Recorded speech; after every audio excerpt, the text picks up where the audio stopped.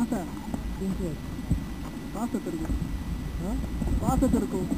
मतलब जगह पास में मैंने बोला। आप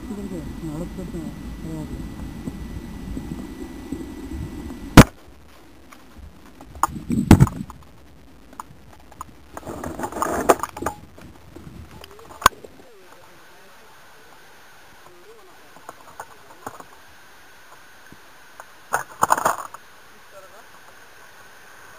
helicóptero ya.